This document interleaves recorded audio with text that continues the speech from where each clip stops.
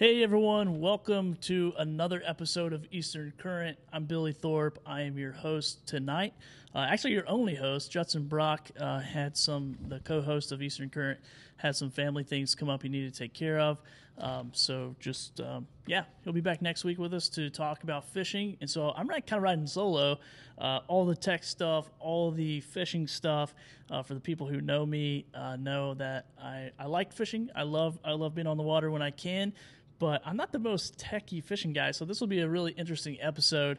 And so thank you for joining us. We have Travis Overman here of Wilmington, North Carolina, fish uh, resident for his whole life. Uh, been fishing here, so a lot of good information. We're gonna be talking mostly about bait fishing for inshore, uh, but just talking about some of his strategies and some of the things that he brings to the table as a local guide.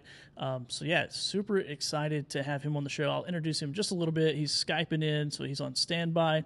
Uh, but before we get started, just want to ask you guys to share this broadcast. Uh, you know, Juts and I work really hard on on every one of these episodes, and we appreciate you.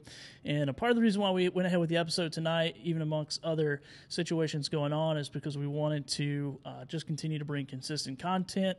And so I said, okay, hey, I'm here I can I can run this show maybe pretty good by myself tonight, one night only. So if Judson, you're watching this, we definitely excited. I'm excited to have you back next week, uh, for sure. Uh, so anyway, so if you just share our broadcast, you'll have an opportunity to win this picture right here. Bam! This amazing redfish painting by Judy Brock arguably the biggest fan of the show. Uh, so I will lay that there. So I will give that away at the end of the show. Um, and just to be entered to win, like this page, comment, uh, help me out with questions as we get into the questions later on the interview. Uh, be sure to tell us where you're watching from. Uh, we had a lot of people watching from like different areas like Texas and Florida and Georgia. So uh, yeah, we didn't even, you know, didn't even expect to expand out that far, but really excited uh, that we have an audience from there. Also, we're going to be giving this away tonight from AFTCO. We're going to be giving away the Catch of the Week prize here in just a little bit. So, to, in order to win that prize or be entered to win that prize throughout the week, just uh, submit your pictures to us. Facebook, Instagram, or etcurrent at gmail.com is a great way to submit those pictures to be entered to win that. Man, I am doing a lot of talking. I cannot wait to bring on the guest here in just a few minutes so Travis can help me talk a little bit. Shoo, I gotta take a breath. All right. So, one more reminder uh, go to our website. It's etcurrent.com. Uh, also, go check out our podcast. I mean, just blowing up. I've had a lot of downloads on our podcast this week. Uh, anywhere you can find a podcast Stitcher, iTunes, uh, Google Play, uh, Podbean. I don't know, wherever you can find it. The top five on Google is what I Googled and posted it. So be sure to check that out. Um, I see Judson is watching here, and Cliff is watching. Cliff, man, Cliff might be uh, coming, might be chasing Judy down for the biggest fan of the show. Um, oh no, I don't have a laugh. There's no one in the studio to laugh with me. I'm all by myself. Uh, actually, at my friend's co-working space here on Oleander Drive, uh, Jacob Tippett was very kind and said, "Hey, you can use my co-working space. I'll clear it out for you. Tell everybody not to." I don't know if he told everybody not to come, but uh, set us up here. So, really nice spot. Uh, if you guys need a co working space, do a little plug for him. All right, let's get into the sponsors of the show. I mentioned AFTCO Marshware uh, earlier. Uh, Eastern Angling, Jud Judson Brock. You can go check out his YouTube channel at Jud Brock Fishing. Uh, Thorpe Creative is my business. We print T-shirts, make hats, do all that fun stuff. So if you have a business or hey, you have a a great t-shirt idea, be sure to get in touch with me. I can help you out with that. High Strike Fishing has been uh, key uh, to the to the show since day one. Uh, if you didn't catch that episode uh, with High Strike Fishing, make sure you go back and watch that. Just a phenomenal episode. So we want to thank all those guys. And then Tow, let's here we go for our Tow tip of the week. I didn't get a response back. I think I, I text um, I text Scott. He was driving, so he told me one time when we started this that you can save twenty five dollars on your next Tow package by mentioning Eastern Current. So that's the tip of the week uh, is to mention to mention that you saw uh, Sea on this show. Save twenty five bucks. I think that's for you know new or renewal of your account. So yeah, man, I am just talking way too much. I can't. Almost there though. We got one more thing to do, and then we're going to get into this interview. Um, so hope you guys are doing well. Once again, in order to be entered to win this right here. Oh, hold on a second trying to do too many things at one time. Enter to win this redfish painting by Judy Brock. Um, you have to comment, like, share, do all that kind of stuff. So I'm going to give that away at the end of the show. But right now, I'm going to give away Catch of the Week, and it goes to drumroll Damian Melendez. Look at that thing, just a nice, I just a nice big fatty red drum. Uh, I like how he's holding it too. That's giving it like a little little side hug there. So Damien, appreciate you submitting your picture for Catch of the Week. You are a winner. So if you're watching this, be sure to tune in or be sure to send us your information. We can send that out to you. All right, so let me just look down my list here, make sure I got everything. Usually Judson and I are spitballing back and forth. Um, so, and we're going to ask when I bring Travis on here in just a second. We're going to ask him about the fishing report since Judson uh, is not here to share that with us. So, anyways, I guess I'm going to go ahead and introduce Travis. Um, so, to give you a little bit of backstory, he has been a fishing guide in the area for about six years. He was born and raised uh, in the Wilmington, North Carolina area. Been fishing here all his life. Uh, once again, we're going to be diving into inshore fishing strategies uh, primarily bait fishing. Um, and so, yeah, he is mostly guides the lower Cape Fear River. Uh, knows it just about as good as anybody. And this is my first time meeting Travis. Uh, man, I am telling you what, I do not, I cannot switch, host, and read all this stuff at the same time. So anyway, I'm going to be quiet. I'm going to bring Travis on. Travis, how are you doing, man? Can you hear me good?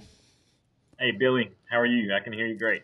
Man, I'm doing good. Please bear with me. I'm like all over the place. I'm I get catch of the week up. I'm talking about your business. I'm talking about you being, uh, you know, a, a, just a veteran of and a native of this area, which first of all is pretty rare. I feel like when I meet someone from Wilmington, I literally feel like I've scraped a piece of gold somewhere. yeah, I mean, not many people, you know, say they can, uh, you know, born and raised here and, and uh, have stayed, but yeah, there's a few of us around. Yeah, man. Well, once again, appreciate you being on the show. Uh, you know, such different circumstances. Uh, so hopefully, you and I can make a go of it and, and really provide some good quality information uh, as far as you know tactics and strategies of what what you're doing here uh, on the Cape Fear and and even inshore, nearshore, offshore. Uh, sounds like you do a little bit of both of those. So I'll go ahead and get I'll go ahead and get started, um, and just really ask you kind of what is the fishing report. Judson usually shares this, but he's not with us tonight, obviously. Uh, so man, can you tell us a little bit about you know, and it doesn't have to be detailed inshore, offshore, all that, but just what's going on. What what have you been catching with your clients? Can you share a little bit about that? Sure. Um, so we just had a full moon last night, and I don't know that it's affected the fishing too much, but uh, we definitely had a slower trip starting this morning than we did yesterday. Um, but yeah, we're catching red drum, flounder, and sea trout. Um, more drum and flounder than sea trout right now. Um, but the the folks who are uh, fishing, you know, live shrimp under corks are are doing pretty well on the uh, on the top of the rising tide in uh, the lower Cape Fear area. But uh, I've primarily been targeting uh, redfish and flounder. Okay, yeah, and I actually saw, I guess it was on your Instagram page, which, by the way, um, I, I, don't have it on this screen, but you guys can follow him on Instagram, and he posts fish, fishing pictures and all kinds of stuff. And I actually saw you guys like hooked up on a mess of flounder. Your most, I think it was your most recent picture. Was that for like from today or the last few days? I guess. Yeah, so that was actually from yesterday, and uh, you know. Okay, I so you're, so you're one of those guys. You're putting old pictures up. I see how it is, man. yeah, uh, so that was actually morning. Uh, you know, I, I, try to I try to post uh, as much as I can, but you know, it's, it's so difficult. We're fishing, you know, two trips a day, uh, taking several photos uh, with several clients, so it's it's hard to get everyone on uh, on our social media page uh, and all of the fish photos. So typically we try to upload those to our uh, website directly. Okay, now I'm kind of a business nerd. So, uh, have you seen a big increase since you had your social media platform as far as like posting pictures? Have you seen a lot more people? You know, because Instagram hasn't been around forever, but you've been guiding for a while. Has that been like a game changer for your business as far as booking more opportunities or more guiding trips?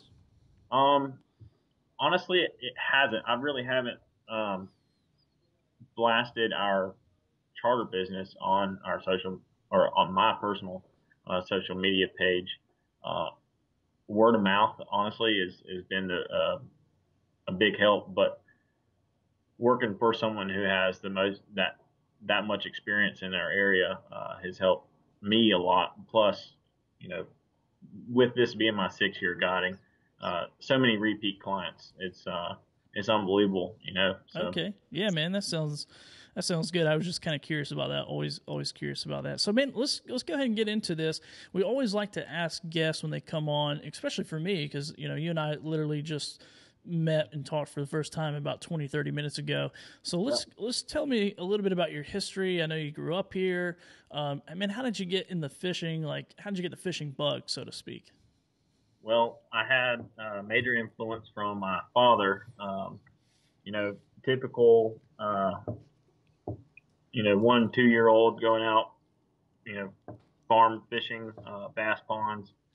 Um, you know, I was, I was watching the show a few weeks back and, and, you know, hearing Ben's story and Judson's story, uh, kind of, you know, I, th- I feel like most of our stories are all relatable, but, um, you know, as a kid growing up fishing, you know, two, three years old, uh, for largemouth bass, brim, crappie, um, getting the bug early and then, you know, getting help from, you know, adults and, you know, getting out there on the water. I, I got the saltwater bug probably when I was 12. Um, and I want to say it was whenever I caught my first legal uh, upper slot red drum. So, uh, caught several fish with my father, you know, what we, what we call puppy drum, but uh, growing up. And just it's uh, something I I just can't get out of my system. You know, I I, I thought that you know guiding would uh, would keep me away from the water on my days off or whenever I get a chance to uh, to kind of take a break, but I I just can't. So. Okay, yeah, I mean, I, I think that is interesting. A lot of a lot of people start out bass fishing, and you know, like you said, in farm ponds or whatnot. Um, and I'm from like the mountains of Tennessee, so actually I started out on like a on a trout stream, um, yeah. catching brown trout and rainbow trout. So a little bit different, but it does seem like here a lot of people start in that freshwater uh, neck of the woods. So, so talking about fish, what is like your favorite fish? Now the questions. So Judson puts several of these questions together, and he kind of put three down there: flounder, trout, or redfish. Uh, I'm kind of curious overall. What is your your your favorite fish? I mean, you can tell us an inshore fish, but is there a favorite fish to target uh, that of, of, Travis Overman? Uh, it would have to be red drum, honestly. Okay. Uh, it's my favorite fish to cat uh, fight, um, and and to understand uh, because I mean most people you know they think drum fishing is easy and, and it can be, uh, but at the same time they can be pretty stubborn and and getting the fish to eat uh, can be the hardest hardest thing to do. But um, red drum, hands down, uh, my favorite fish to catch. Okay, man, that's great. And what is your favorite way to catch the redfish? Is it is it fly? Is it you know soaking bait? Is it artificials? Like, I mean, if you just if you said you can only fish for red drum one way for the rest of your life, what would it be? Uh, probably throwing a plug. Okay, uh, and, all right. And Judson would probably second that, but or you know a fly, but you know not too many uh, folks can do that on the uh, charter boat, but um, throwing a plug, honestly, in certain certain times of the year, spring and, and fall, and summer early, obviously. Okay, gotcha, man. Yeah, that's uh, that's always that was actually um, my first time I w- went red drum fishing. Uh, I was on uh, I, I, actually I was on Luke Tippett's boat, but it was his uncle that that took me, and Actually, I've only, I'll, I'll just go ahead and say this. I, I, probably shouldn't admit it to anybody, especially on the show, but I've only caught two red drum in my entire life. And one okay. was on top water, and then one was soaking bait down in North Myrtle Beach. And so I caught a, you know, red drum in the slot, like 21 inches or something like that. And then yep. I caught a 48 inch. So a Very little nice. spoiled, both on a charter boat, which thankful for you guys, you know, to be able to have the opportunity to do all the pre work so I can just come in and catch fish and brag about it for the rest of my life. Those two red drum. Right. Uh, and then you know been red drum fishing several other times, but like you're saying, these guys can be a little stubborn to to get to eat mm-hmm. in some conditions. Um, so so yeah, man. So okay, so let's talk about you've so you've fished here your whole life. You've been you know been a guide for the last six years or so. You've been yep. on the water a lot. You're talking two day trips. What is like the most memorable day that you've had on the water so far in the in the Cape Fear area? Uh, it's it's you know, in my life or in yeah, let's this, go. Let's go macro, in, man. Let's go life in your lifetime in, in the Cape Fear area. What's the last week? The last week. Okay. No, no, I'm saying you know in in this past week or uh, or in my lifetime. Oh no no no! I'm sorry. Uh, let's go lifetime. Let's go macro. Okay. Uh, well, prior to uh, last uh, late summer, um, a buddy of mine who's who's probably on the show or, or watching, uh, tuning in, uh, Scott Blevins, shout out to him. we had a pretty epic day of flounder fishing, um, lower Cape Fear and in near shore.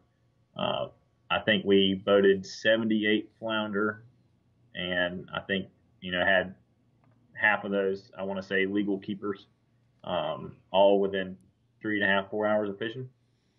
My goodness, man! I, probably some people watching the show haven't caught seventy some flounder in their entire life of fishing, so that's pretty impressive. it, it, was pretty epic, uh, but like I said, prior to that, like you know, probably sitting on the waterfront at Southport um, with my dad and a 16 foot aluminum boat, uh, when this was when I was in high school, probably a freshman or sophomore. Uh, I think we had 22 keeper flounder. Wow. Wow, yeah. man, that's impressive. And what were you guys catching those on on, on both of those trips? What were you what were you throwing? Both trips, finger mullet.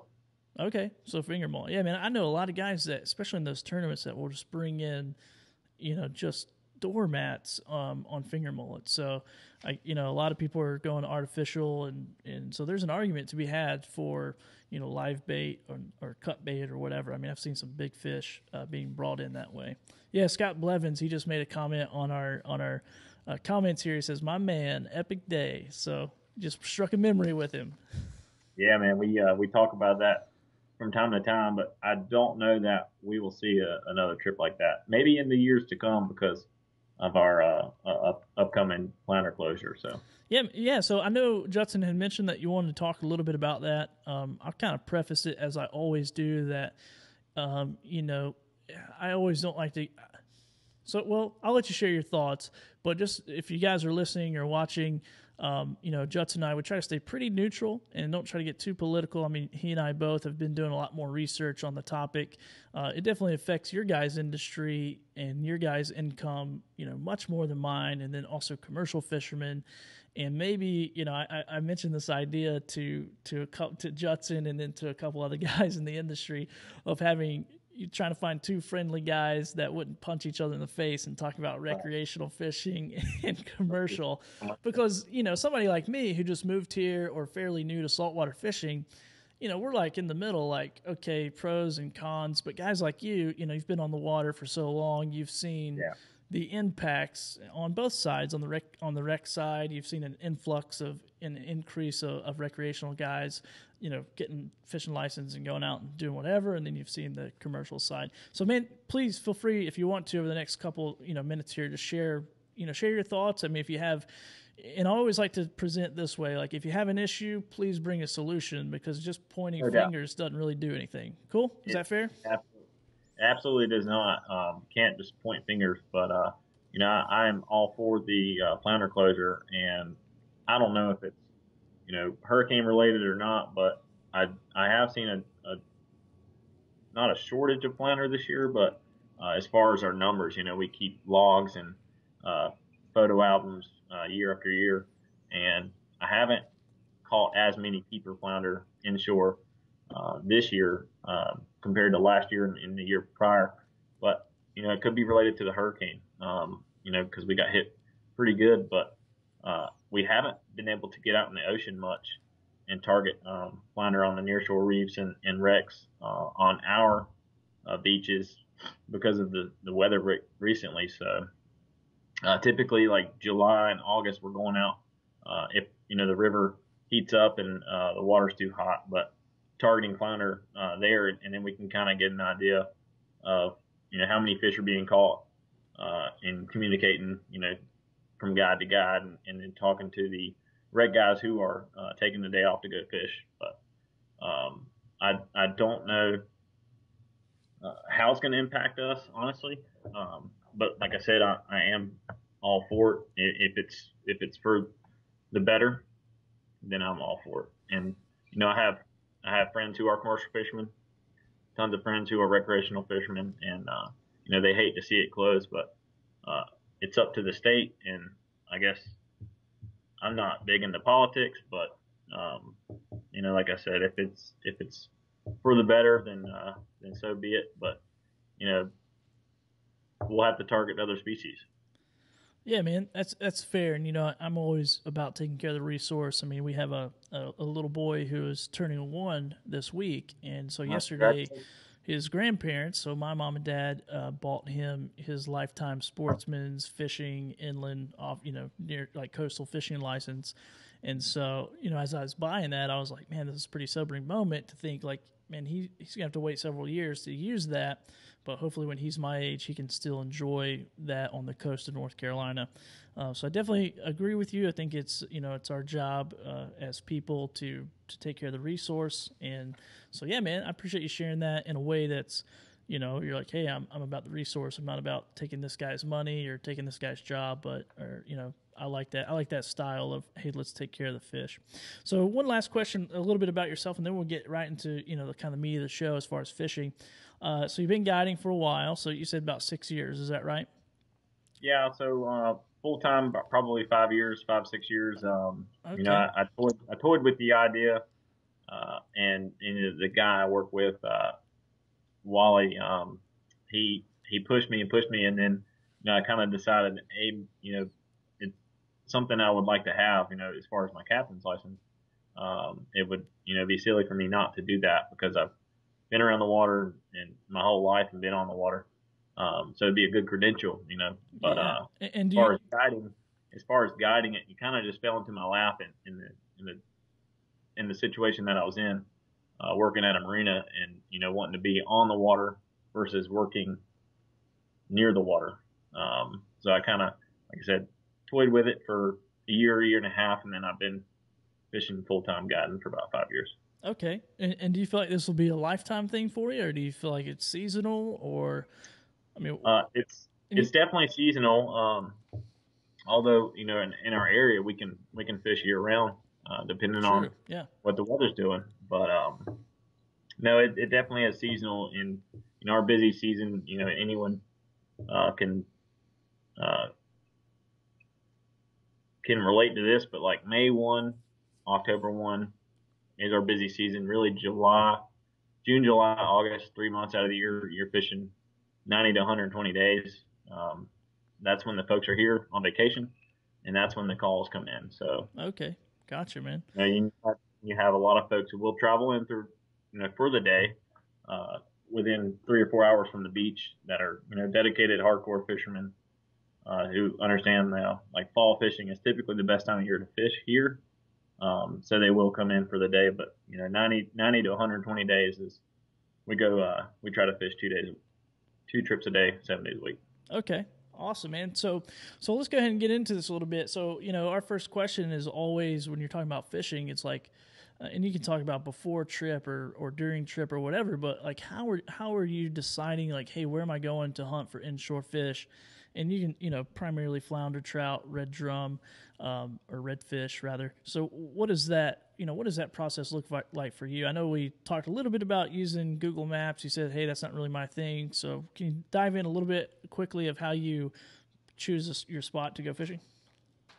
Um it's funny because you know growing up i fished all over them you know lower cape fear area um, being born and raised in southport and then you know back and forth wilmington uh, and Oak Island. But, um, you know, seeing, I see, you know, the marsh is forever changing and, um, you know, spots that were good 15, 20 years ago, whenever we were out, uh, are not great anymore.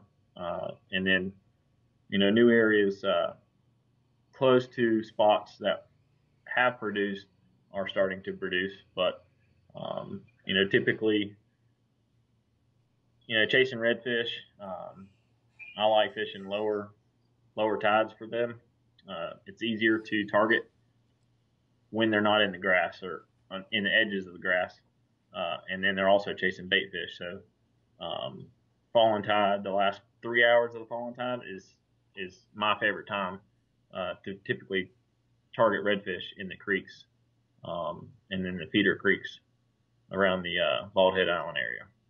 Okay, gotcha. And, and so, what is like in that situation? Like, what's the depth of water that you're kind of going in there?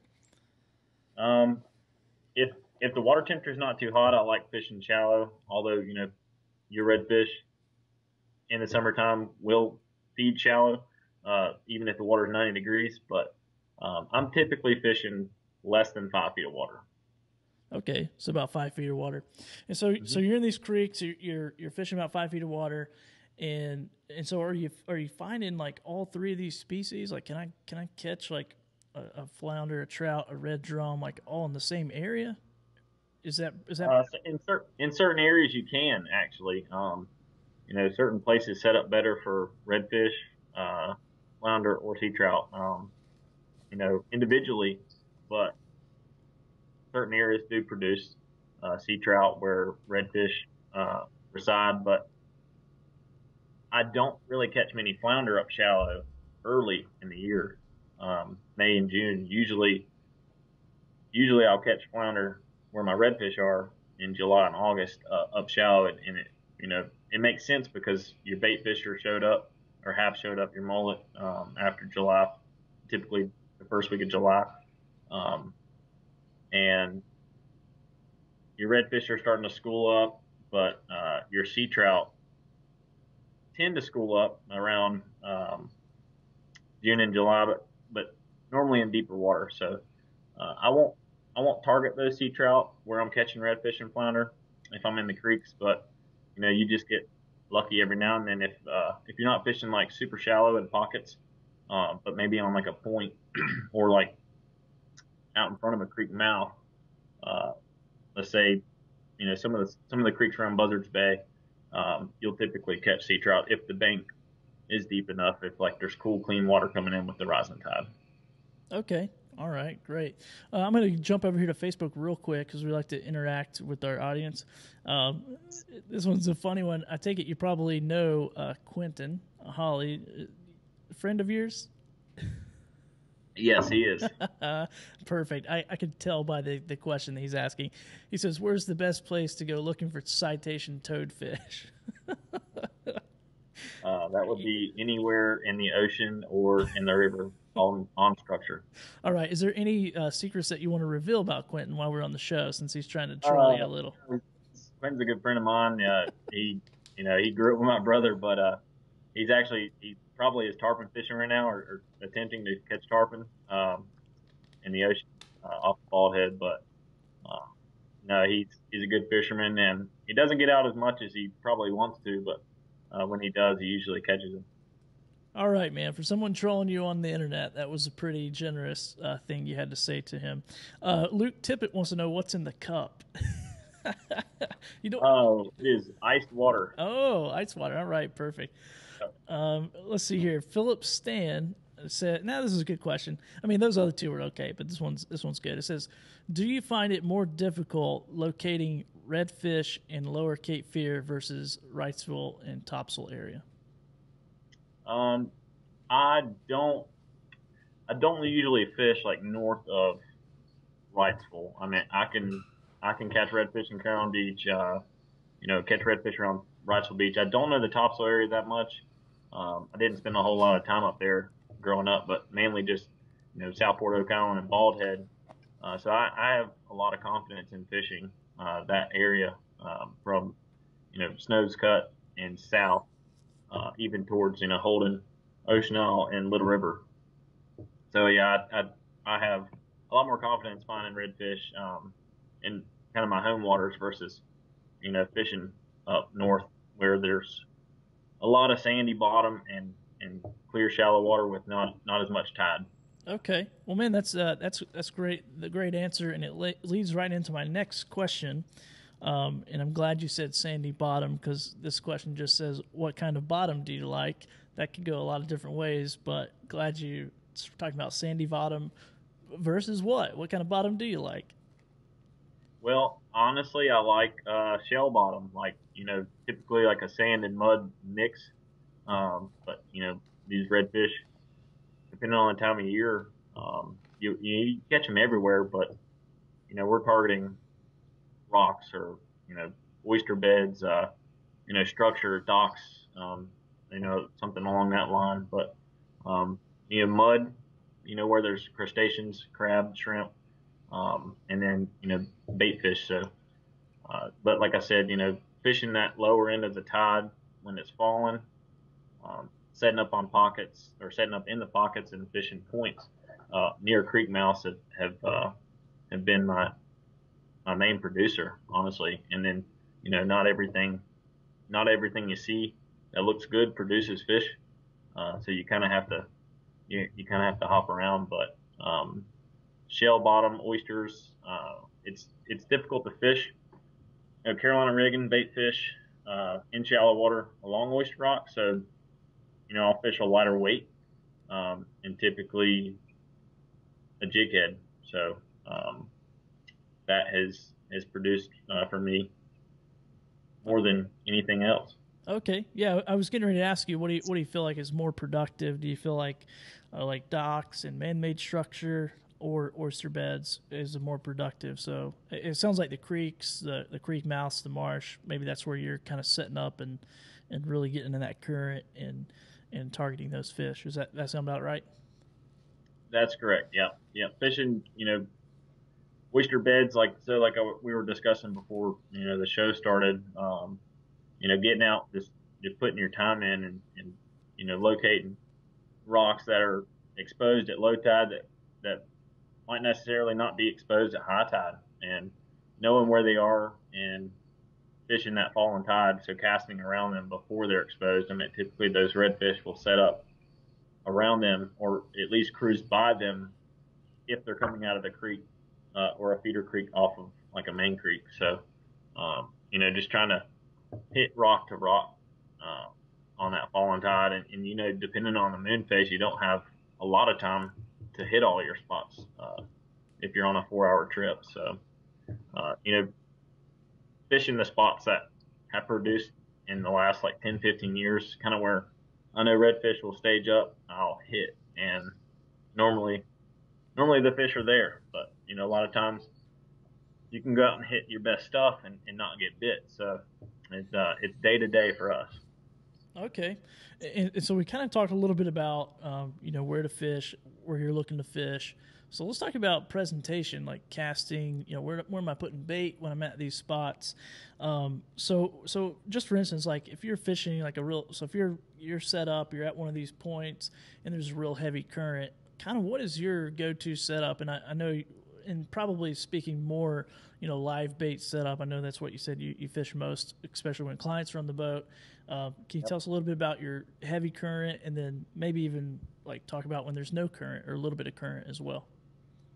Um, yeah, so like fishing points, uh, if if you know we're fishing like in a main creek and um, just say you got this, you know, Spartina point sticking out and, and you have a lot of current hitting that, uh, depending on where you're set up, and it typically it creates an eddy behind that point, and and I like to target eddies honestly.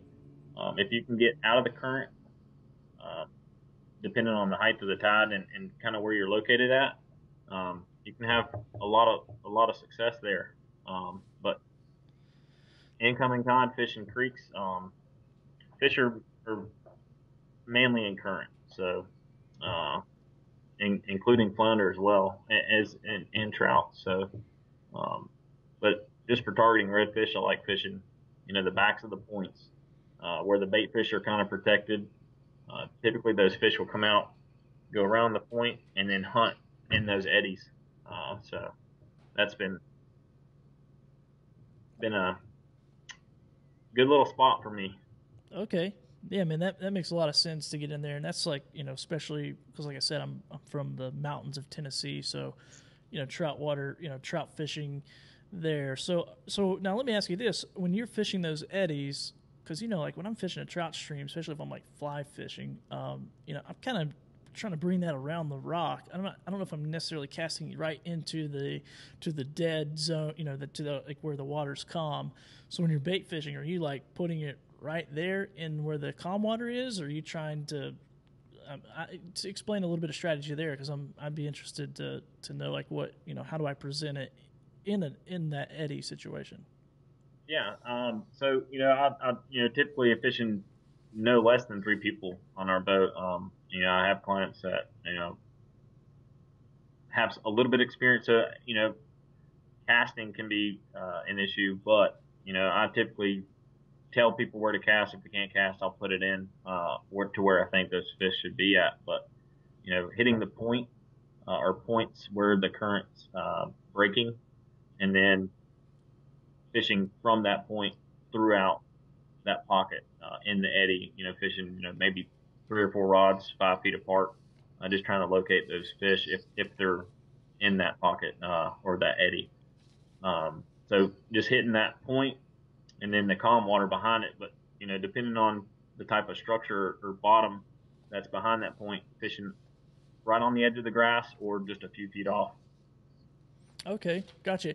And, and when you're fishing that way, like, is there a particular particular bait that you're using? I mean, if, if I go out, say, and once again, not very experienced here at bait fishing, so if you had to give me some advice as a first time fisherman, uh, what am I putting in my what do I got in the cooler or what do I got in the live well? I mean, do I need shrimp? Do I need you know mullet? Like, what am I looking to to take with me to, to try? Is there different situations, times a day? Is it just match the hatch? What's the what's the uh, ticket honestly, there? You know, match the hatch, um, and you hear a lot of a lot of folks say that, and you know, for freshwater, saltwater, uh, wherever you may be fishing, but man, that's a, a you know a great uh, motto to stand by. And it's it's funny because you know guide fishing, you know May typically May and June, uh, we're primarily fishing with menhaden and and small menhaden. Um, if if there's an abundance of those around, they're typically easier to catch, you know, if they're schooled up. But uh, and that's what those fish are exposed to early. Uh, your mullet won't start running until you know mid July, early July. Um, but it's funny because the last few years I've, I've noticed this and then talking to other guides uh, as well as wreck fishermen, there's a transition period when the fish stop eating menhaden and start eating mullet. And, and that's typically when you, when you start seeing those mullet run or just before the mullet run starts. Um, and so, you know, at low tide, you can get into the creeks uh, and cast net in the mud and, and you catch, you know, pinky size, finger size mullet um, right before they start running. But you know, you'll have days where the weather's perfect and the tide's perfect, and you set up on these points and fish in these pockets, and you know, you see a little bit of bait fish, but you know where your redfish should be at, or maybe even flounder or sea trout, and they won't eat menhaden. And then you have a friend who kills them on, on mullet. So uh, it's something that we have to adapt to, and and typically, right when that switch happens, it's game on. So fishing mullet from here on out, you know, if you can get them. Uh, but at the same time, you know, shrimp do well. You know, they do really well depending on what you're targeting. Um, you know, sea trout in the in the summertime can be phenomenal, but that's it's something I target in the fall uh, mainly. But uh, menhaden from May into June and then July and August, I'm I'm primarily fishing mullet. Okay. Okay, awesome, man. And so when you're when you're rigging this up, are are you finding fish with like a Carolina rig? I mean, I know that's really popular around here. Uh, can you talk a little bit about you know different baits, different rigs, um, just you know when you're fishing those areas and what what you've seen works best? Yeah, so like I was I had mentioned before, but you know, fishing shallow uh, in creeks, if if you're not in a lot of current, you're you're targeting, you know, redfish or flounder in these oyster beds or around oyster beds, uh, I'll typically fish a Carolina rig with a lighter weight, maybe a half ounce, or if I can get a quarter ounce lead head or a quarter ounce jig, um, I'm sorry, uh, egg weight to uh, the area that I'm, I'm targeting fish without getting too close. Um, that's what I'll do uh, if I'm fishing current, you know, ounce to ounce and a half, uh, typically uh, no more than that um, because you want your bait to kind of roll around a little bit um, at the same time. Uh, you know, sit still. But um, fishing clear water, I like I like using a little bit of leader um, when I'm fishing dirty water. I, I typically run uh, and people might think I'm crazy, but 10 inches or less um, because you want your, you know, visibility is not good and your water clarity is, is awful. Uh, those fish are on the bottom. They're feeding on the bottom. Uh, flounder lay on the bottom. So you want that bait fish to be as close to the bottom as possible uh, in order to get bit or for them fish to actually see the bait fish you're throwing. But, uh, you know, Carolina rig um, is go to, and then jig heads occasionally if you know clients can and can cast them and and fish them properly. Okay, awesome. And, and so, I mean that you know that's what I always go out with too. I always always have a Carolina rig, just trying to let the let the current push it around, try to find a something sneaking around somewhere.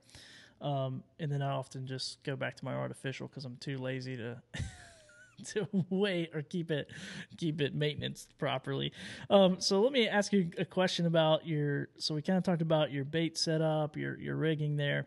Um, is there like a go-to inshore rod that that you're using? I mean, either for yourself, like personally, I know maybe your equipment for your your customers may be a little different. Um, I find that most guides have a little better personal equipment and then you know stuff that can cheaper to replace if it's snapping all over the place or whatever you know whatever people drop it so can you talk a little bit about your fishing rod setup there Yeah, like uh, like you had mentioned, uh, you know, and, and I'm sure Judson and uh, you know several other guys can uh, attest to this. But you know, clients are hard on gear, and you know we don't like to fish, you know, super nice equipment um, with folks who who go fishing once or twice a year. But yeah, you know, personal gear or equipment is uh, is definitely a lot a lot nicer. But um, targeting uh, reds and flounder. Uh, you know, sea trout. If you're using like a medium heavy rod and you know you're live bait fishing, sea trout aren't that fun to catch uh, with a heavy rod. But um, you know, medium heavy like seven to seven and a half foot, um, or even a six and a half foot rod is uh, is our go-to. Um, and then you know, fishing 2500 series reels to 4000. You know, no greater than 4000 because we're not catching anything monstrous inshore, but um, and then 30 to 50 pound braid. okay and what uh as far as your reel there is there a particular brand that you found that you like better than than another or Um, I don't have a preference, honestly. I think all reel companies are, uh, you know, c- uh, comparable. Um, and I'm gonna just, you know, lay this out there while we're on the air, but here we go uh, you know, we don't, we don't, uh, I, I don't fish, uh, super nice gear, but, you know, Penn Battles, uh, Shimano, you know, Shimano Sedonas. Um, I am liking the new, uh, the BG series Daiwas, although I've had a few issues with the 3000 model. Um, and then trying to think, mainly just, you know, your lower end Shimano or your, your Penn Battles and your Penn Fierces. okay gotcha well i, I want to i want to oh go ahead sorry Uh, and then you know I'm not fishing new reels. I'm I'm usually buying some stuff off of eBay and or repairing them myself. So I have a uh, miscellaneous bag of uh, used fishing reels. All right, yeah, man. That's how I had a I got a box in my garage just smacked full of uh, fishing reels. Some of them don't even turn; like they're just so booger, Oh, yeah. boogered up. Uh, but man, I actually bought a BG um, twenty five hundred. Gosh, maybe a, a year or two ago now, and I literally I don't think I've ever washed that thing, and it still does wonders. I'm actually shocked every year when I pick it up. I'm like, how does this thing even work? Um, No, they're they're uh, they're probably my favorite. You know, light light tackle reel uh, to use. Um, you know, I think Judson or maybe even it was Ben uh, Chesney who introduced me to them. Um, and I was curious, and, and my brother bought some big reels for offshore fishing. But uh, I absolutely love that 2500 uh, BG, and as for as far as catching trout and then uh, you know redfish on artificials and, and plugs and stuff, and and typically fishing like 10, 8, 8 to 10, 12, 15 pound braid with those reels and just the tournament drag system that setup and that, and that reel for the price is, is kind of unbeatable. Yeah, man, I think they're like a hundred bucks or something. I, I bought one. I, I think Ben actually sold the one the one I have to me, and you know, like I said, I don't know any better, so I went fishing with a buddy of mine, with like a medium, like I don't even know. If, I guess it was like a medium weight rod with a BG. It was like a century rod, like a trout rod, and I took it bonita fishing and, and foul hooked a bonita. And dude, that thing, I was surprised that all three of us, the BG, the Century, and myself, made it through that fight, dude. It was crazy. And ever since then, I'm like, okay, if this thing can take that beating, then I'm gonna keep it and, and forever. And it's dude, it's it's yeah. just been phenomenal. So um, no, they're they're great little reels, and they don't break the bank. So yeah, man, I'll absolutely. Continue, I'll continue to fish them for sure.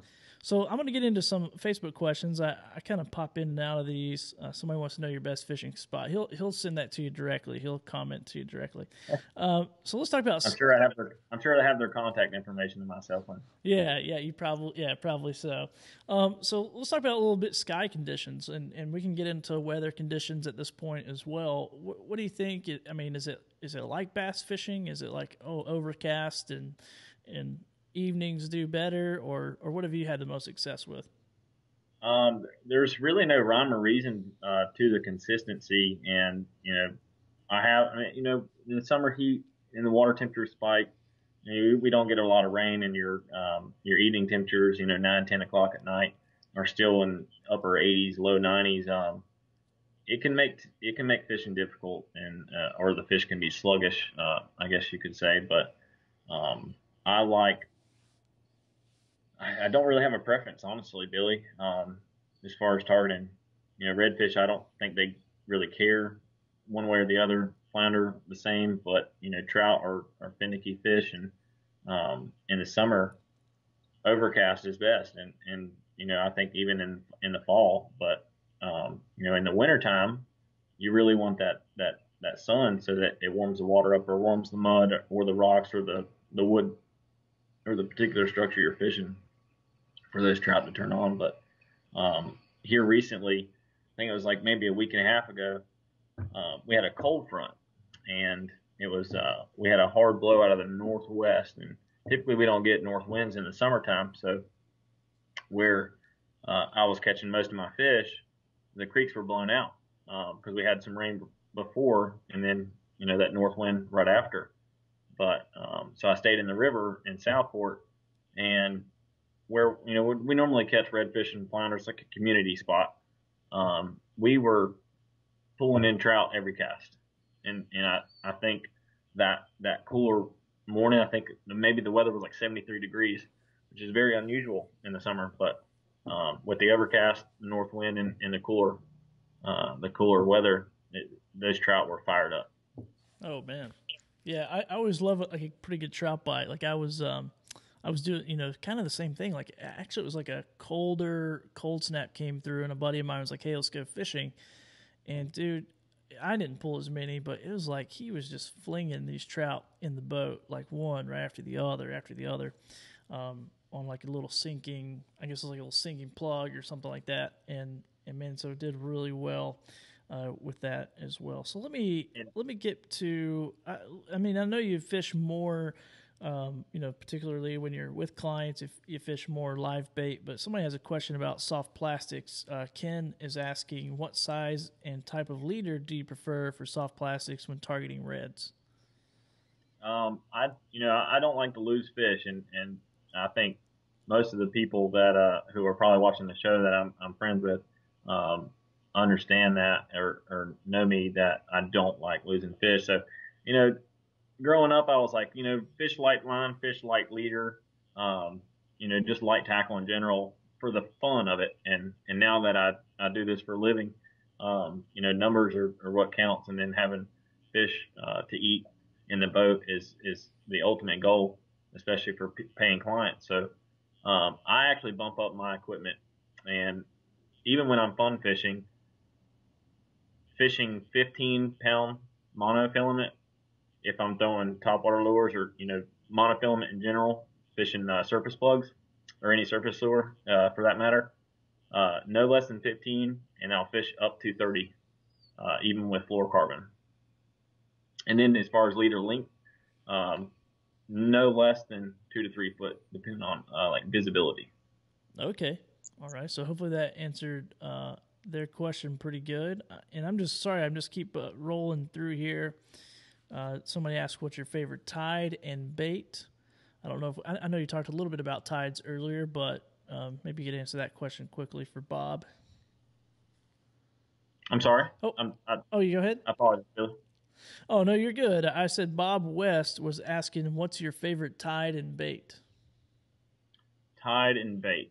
Um, it's a tough, it's a tough question because I like, you know, I, I like fishing both sides of the tide, and you know, pay attention to that, and it, it's something that we, you know, fish by, uh, you know, depending on the height of the tide. But if I had to go out and fish one tide, it would probably be kind of like a two and a half, three foot tide on the falling. Um, you know, fishing fishing the points that uh, I was I had mentioned earlier. I was talking about uh, targeting redfish because that's you know typically when they're coming out of the creeks, they're hungry or they're chasing bait. The bait's falling and uh, and then catching them in those eddies behind those points up shallow. Okay. Yeah, sounds good, man. Sounds good. Um, I'm still reading some comments here. I don't mean to be so distracted by it, but I want to make sure I get all the questions answered.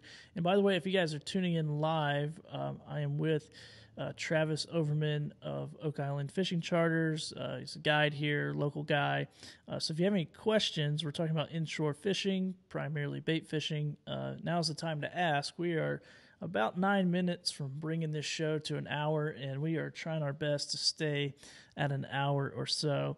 And unfortunately, my co-host Judson Brock is not with us tonight, and so uh, being yeah, we we miss you, Judson. Yeah, we miss you, man, and and hopefully, Travis, you know, through this, I've uh, protected your reputation and ask you some good questions, and uh, you know, try to be as conversational as possible. I mean, I'm the first to admit I have no pride when it comes to fishing because I'm I'm like your best client. Like I, am the guy who who uh, you know I was telling somebody this the other day. Uh, I was like, you can take me fishing with you. I'll never remember where you took me. Even if I bought a boat and had a boat, I would never remember. I'm directly challenged. So, uh, uh, but man, I, I, I typically don't have many folks that uh that that do you know bring like a handheld GPS. I honestly have never had anyone uh you know like record the areas that we fish or like try to pull up a, like a, a satellite image or something like that. But no, um, like I said, most of the folks we're taking out are, you know, have little to no experience at all, so they're just they're out they're out to try to catch dinner for the week. Yeah, that's awesome. I mean, that's a great way if you're coming here for vacation to you know, instead of going dropping all kinds of money at the grocery store, like come have a good time on the water and, and fish with you. Uh, so Matt Dale asked this question. He says, "Gulp mullet or shrimp uh, with what size and color jig head?" So a lot of artificial questions for you. So would you fish with a, okay. a gulp um, mullet bait or a shrimp bait? Uh, you know, which ones you which one do you prefer, and what size and color jig heads, if it matters, I and have, if it doesn't matter, I, tell us. uh, yeah, I think it does matter, and you know, I think fish see certain colors uh, better than other. Um, but you know, typically, you know, quarter ounce uh, jig head, um, even up to a half ounce. But if I'm fishing shallow, I like you know my bait not hanging up in the in the bottom as much. So fishing quarter ounce or even an eight, uh, depending on the current, uh, with a uh, red or chartreuse jig head. And and typically in summertime, I like uh, fishing the uh, white chartreuse gulp shrimp. Okay, gotcha. Uh, so, so first of all, I scroll back through here, and your mom is watching, so she said hello. always like, always like to pull out everybody's mom and tell them hello. So cool. she's proud of you. Just wanted to let you know. I don't know if you're looking at the comments or not. Um, no, actually, I, I, I can only see you and uh, from our from our Skype page. I haven't seen anyone uh, online. I'm not even close to being on Facebook. So all I have in front of me is my cell phone and, and, and the laptop. So perfect. Okay. Well, I think I'm catching most of them. So, so we're pretty good to go. Uh, so Daniel Av- Avant or Avant, I'm not sure how to pronounce his last name. Yeah, yeah Avant. Um, I, you know, he posted something right here, which I found, I found this out like, uh, you know, shortly after I moved here, but he says, I got the bananas I'm assuming he's referring to a superstition of, you know, banana boats and have a banana on the boat. Is that what he's talking about? Sure. You feel like? he, uh, yeah, he definitely is. Uh, he's a jokester. Um, but uh, as far as bananas, I have, um, have caught so many fish with bananas on on the boat. So I think it's just a bad excuse for uh, for those who don't catch fish when they do have bananas on the boat. Uh, okay. They, they easily blame it on the banana. So, so talking about superstitions, is there any superstition or like game day ritual uh, that you kind of practice? I mean, I know people got lucky socks and underwear and all this stuff. Like, you subscribe to any of that? I I do not honestly, Billy. Um, you know the the one thing I uh, I worry about before I even go to bed or I get up in the morning if I'm you know fishing clients or uh, if I'm you know fishing in a tournament uh, for that matter is bait and where can I find it and how fast can I get it? Yeah, exactly. And and I assume you go out with cast net and you cast you know you're getting your own bait using the resource. Sure. Cool. Yep. Absolutely, man. Yeah. Um, so that brings me to my next question, and we're kind of through the the fishing thing. If anybody else has any more questions that are watching here in just a couple minutes, I'm going to give away uh, an AFTCO hat. Wait, yeah, no, no, no, not an AFTCO hat. I'm going to give away this from Judy Brock. I'm going to pick somebody random from the comments. I always get those two things confused. No big deal. Uh, yeah, you guys are giving away some some nice gear that uh I don't think that I can participate in. Yeah, man. So yeah, AFTCO is uh, man, they have hooked us up. Just super, super great company and and supporters of the show. And and same with uh, Judson's mom, and she has painted all these, and they're just beautiful. Or um, and I guess that's paint. I probably should ask, so I'm not promoting something that's not because I have no artistic bone in my body. Um, so if you have any more last minute questions, guys that are watching or listening, uh, be sure to ask those. And I'm going to ask this one question. I've been kind of curious, um, and I meant to ask this question of all our other guests, but I just haven't. Uh, what is the craziest thing you've seen at the boat ramp? Craziest thing I've seen at the boat ramp. Um, well, stupidity. Uh, you know, no common sense. Um, I worked at a marina for five years, okay. so I've seen I've seen more, you know, or I guess crazier things or incidents at at that particular location. But at the boat ramp, you know, I try to stay away from public areas, and uh, I'm fortunate enough to have a slip at uh, Southport Marina my home port. And uh, although I'm near the ramp, I don't, you know, I don't really see too many shenanigans. Uh, but maybe like a boat on the on the concrete, you know, with the trailer nowhere in sight, uh, or you know, a boat on the dock. That's not uncommon uh, or a truck in the water. Yeah, uh, I know. I know Wrightsville Beach has had quite a few. So. Oh yeah, man. I, I was. Um, I don't know what holiday it was, but I saw someone post on Instagram that they were literally out there in their lawn chairs, just like taking pictures and video, and it was like their entertainment for. I think it was Memorial Day or Fourth of July, or maybe even both. Um, so I, I think boat ramps are are always fun. So yeah, if you guys, oh, sure. it, it's great entertainment and you know something that uh, my clients enjoy when I'm when I'm back at the dock and I am cutting fish, uh, for sure, especially on holiday weekends. Oh man, no shortage of that. Yeah. Oh, let's see here. Here's a, a question from Abby Moser. Said, "How many days did it take you to put your fiance on a flounder?" I, I saw that picture, by the way. So that's a good question. All right. So uh, I, I, knew that would probably uh, come on air. Uh, but you know, we, we don't get a whole lot of time uh, to spend on the water, uh, especially with me fishing, you know, two times a day, you know, 100, 120, 150 days a year. Um, but we, we try to take advantage of the few opportunities we get. But uh, her first legal flounder she caught was two evenings ago. Oh, that's awesome, man. She has caught several short flounder. Uh, don't let her fool you or anyone.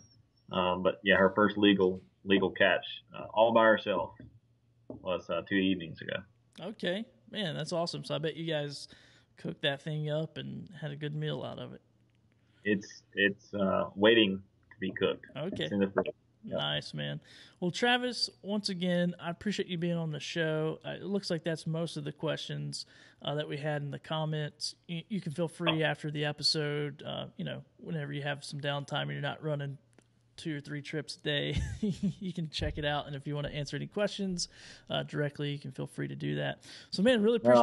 I will definitely, I will definitely do that. And uh, honestly, wish we had a little bit more time to chat. Um, this is actually pretty fun, and you know I can talk fishing for hours. Anybody that knows me knows that I am a I'm a talker and love and enjoy talking about fishing. Yeah, man. Well, you you've helped me out a lot. You made my job easy as far as asking questions and and providing good answers. So we'll definitely have to have you back on the show at some point, and and appreciate you uh, being a part of the show. And so, man, I would if you, love to be back, man, and uh, it's honor for uh, you guys to have me on the show. Yeah, man, appreciate it. Well, and a lot of people in the comments are saying, "Hey, you're one of the best guides in the Southport area." A lot of fans out there, so. Uh, I try. I try. Uh, I have great support for sure. Yeah, man, that's awesome. It's good to have a community. That's what you know. As a part of uh, the reason why we launched this show was because we, you know, in particular, I really enjoy the fishing community, even though I'm not like the greatest angler out there or even get to fish that often. I just like the camaraderie and all those things. So, and having conversations like this, you know, I'm learning a lot and often I feel like I'm just watching someone's YouTube video and then I got to like snap out of it and go like, "Oh, wait, I got to ask the next question." So, yeah. So, man, honestly thought like an hour uh, an hour of uh, talking about fishing uh, would be, you know, a task, but you know, time flies and, you know, you can hit on so many points and but you just have so so little time. So yeah, absolutely, man. And it's it's cool to see everybody's different perspectives and strategies and techniques. Um, so that's a lot of fun to to be able to to listen to those and different opinions. So man, take a couple minutes, or if you have, I mean, you don't have to take a couple minutes, but just take a next yeah. you know minute or so. If you have any closing thoughts or an encouragement for people who are you know either trying to learn how to fish, been fishing for a while, guide, you know, like whatever whatever you want to to share, you can uh, just putting your time in, honestly, and uh, you know, respecting the others uh, that are out there and have, have put their time in. Um, but you know, I, I was uh, fortunate enough to get out in the water super early uh, at a young age, especially saltwater fishing. My my friends uh, and their their fathers, my dad's friends, uh, they were out, able to carry me out when my dad wasn't. So, um, you know, fishing Bald Head in the summers when I was uh, pre-teens and um, early teens and uh, way before that. Um, so very, very fortunate to have uh, learned this area at, at such a young age. But like I said before, I mean, everything's changing. The marsh has changed. Uh, you know, some of the creeks have turned a different direction. Uh, you know, sandbars are in different locations and, you know, grass beds have suddenly formed where they weren't uh, 20 years ago. But, you know, you got to change with the, with the conditions daily. Um, so, you know, your fish are not not always going to be where you caught them the day before. So it's one thing is just putting your time in, doing your homework, and uh, and enjoying it and learning. And you know, you learn so much every day. At least I do. And I hope most of the folks that, that are out there uh, learn daily because it's part of it. If you don't learn, you're not you're not you know. Yeah, yeah, man, that's sound advice. Out there. Understand what the fish are doing. So. Yeah, man, that's that is sound advice, Travis. I, I, like it. I'm a fan of learning something new every day. Um, that was actually a motto of mine a couple of years ago. Um, a whole different subject, but playing guitar. I played guitar for several years, kind of got dormant, and then I, I made a goal for one year to learn something new every single day about playing music. So, uh, great episode once again. Thank you for thank you for being on. Oh yeah, okay, there you go so we have to do a, a, different podcast, like a music podcast. We play a little, play little tunes, teach some lessons. Um, sure thing. But yeah, man, appreciate you being on the show. I'm going to switch cameras to my camera and give away uh, this this image from Jud Brock. So this is the last chance, guys, and you have to comment on the show. So if you just say hi to us uh, I'm going to randomly scroll through and choose somebody here in just a second. We're going to give that away. So, Travis, uh, you can hang out, and I'll be right back with you after the show. But appreciate you being on, man. Thank you for everything. Hey, thank you, Billy, and thank you for everyone uh, tuning in this uh, this week. Absolutely. Go follow Travis. It's uh, let me just pull up his camera real quick here. It is at T R A V V V. Hit him up. Uh, you know, take him like take him out fishing. Have him take you out fishing, and and show you the ropes. I see that um, you know you're working with people and and maybe even mentoring a couple people, maybe from your Facebook posts. So. Um, sure. Yeah, man. So awesome job. Thank you so much. You guys go follow him, support him, and uh, we'll talk to you soon, Travis. All right. Thank you so much, Billy. Thank you. All right, guys. So now is the fun part of the show uh, when we give this away. And I'm going to scroll through while I hold this in front of my face so I can't even see what I'm doing, and I'm just going to land on one. And the winner is Richie Smith. So, Richie, appreciate you watching the show. Uh, he says uh, on his comment, "Good job, Travis. One of the best inshore captains around our area." Um, so, yeah, absolutely. Thank you guys for watching. Thank you for tuning in. Be sure to check out our podcast. I'm going to try to upload that either tonight or early in the morning so you can listen to it.